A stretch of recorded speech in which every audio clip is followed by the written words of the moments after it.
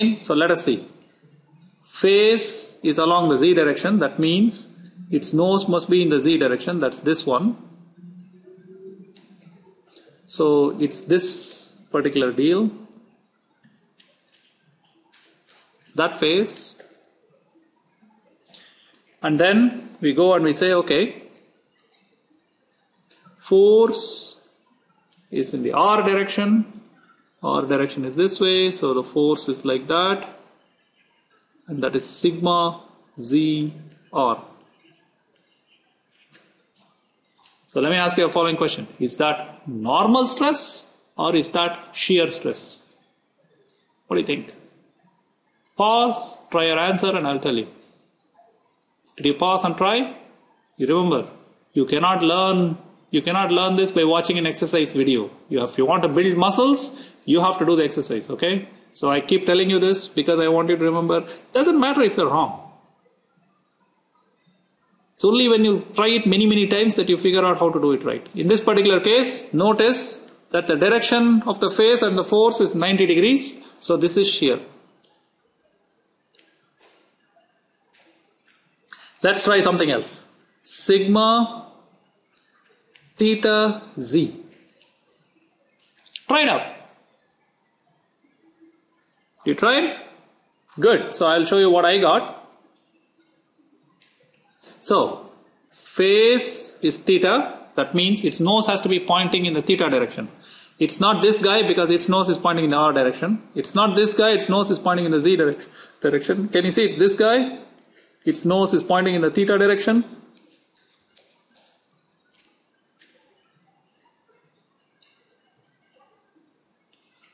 That's the theta direction, right?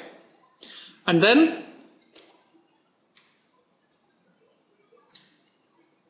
the force direction is z. So which way is it going? Z. Ta-da! That's sigma theta z. So let me ask you the following question. Is that normal stress or shear stress? You know how to answer that? Good. So it's 90 degrees, so it's shear stress. Let's try another one. Sigma theta theta. What do you think that will be?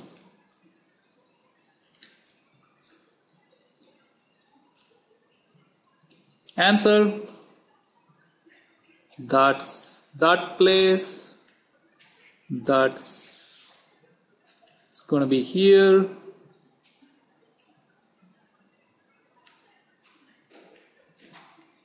Can you see? Is it normal stress or shear stress? Is it obvious to you that it's normal stress? Because the force is pointing along the same direction as the nose. So if it's like pulling your nose that's normal Okay, so let's try something else. Sigma r theta. Draw me and tell me. Now I'm going to go quite fast. That is sigma r theta. You can figure it out. Try sigma theta z. Oh, we already tried that. Sigma theta r. Sorry. So theta or it's going like that See what I mean? How about sigma minus theta r? What will that look like? It's on this face, that, that one, can you see that? It's that face, the minus theta face, and then it's in the r direction, it looks like that, that is sigma minus theta comma r. That's the notation. Got it? Usually in the book, normal stresses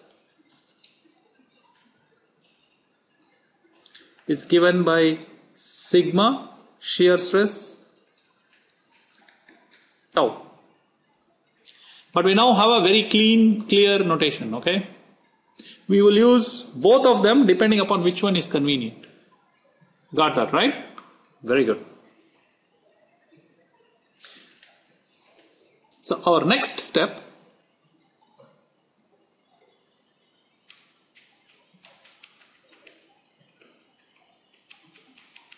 is the following. So suppose I go back to my original setup. Here's a bar. And I apply some forces to it. So F equal to 2 kilonewtons.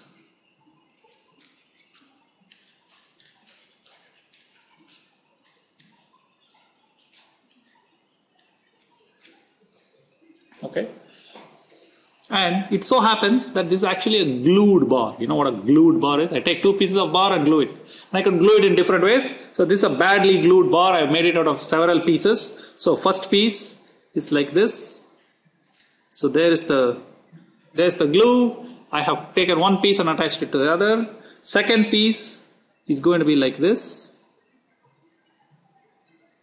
That's the second. And the third one is going to be 90 degrees like that.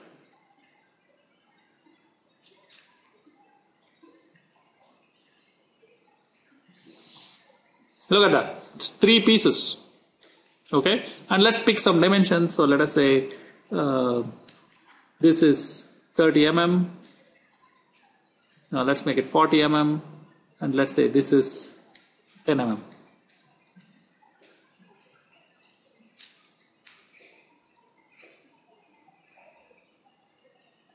That's 40 mm, that's 10 mm. Okay.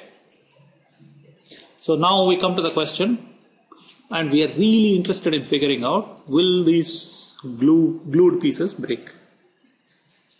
Are these glued pieces safe?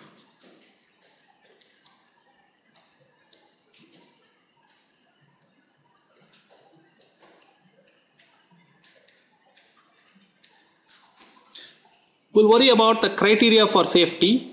That's a separate thing. We just have to figure out how much stress. So our question is analysis This is actually load analysis, internal load analysis.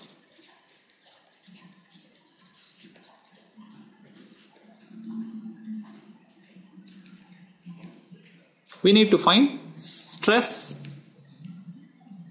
on face, on glued face. Let us make it clear.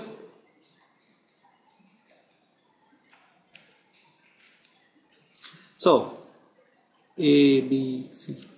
Let's look at A. So I'm going to draw a free body diagram of A. So I'm going to take a cut like this and draw a free body diagram of A and that's easy to do, right? Looks like this. 2 kilonewtons. So the force on this face, the face normal is like that. The force on that F equal to 2 kilonewtons. Area equal to 40 times 10 400 millimeter squared so stress. So now you have to decide whether the stress is normal or shear right? And it's is it obvious to you that the force is parallel to the nose? So this will give me normal stress. In our usual notation it's called sigma. In our modern notation it will be called sigma xx because this is in the normal direction in the x direction that's the y direction. Okay? So this one equals 2000 divided by 400 0 0 0 0 5 so that is 5 megapascals. How about sigma xy? Is there any force in the y direction? No. So on this face, I'll get 0. Now let's look at the next one. How about on face B? So I'm going to draw the face B carefully. So it's going to look like that. Cut. And just to make things nice, let us say this angle is 30 degrees for now. Okay. We'll worry about the angles a little bit later. So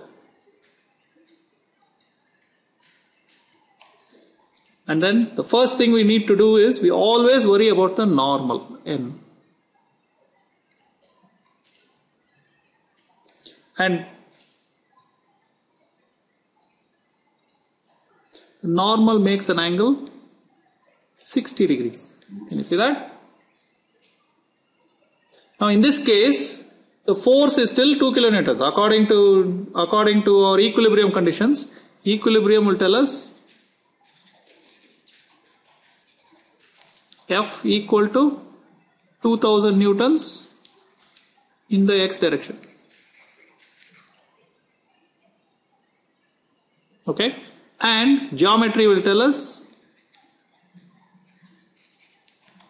the the normal vector, which is a unit vector, looks like cos 60 degrees in the i direction plus sine 60 degrees in the j direction. Can you see that?